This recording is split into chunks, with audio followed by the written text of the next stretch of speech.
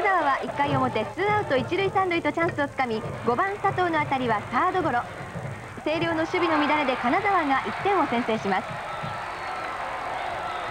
しかし星稜はその裏ワンアウト一塁二塁と反撃に出ます。ここで4番進藤がセンターオーバーの2点タイムリーを放ち一気に逆転に成功します。着実に得点を重ねる星稜に対し金沢はランナーは出すんですが星稜のエース山本の前に追加点を奪えません。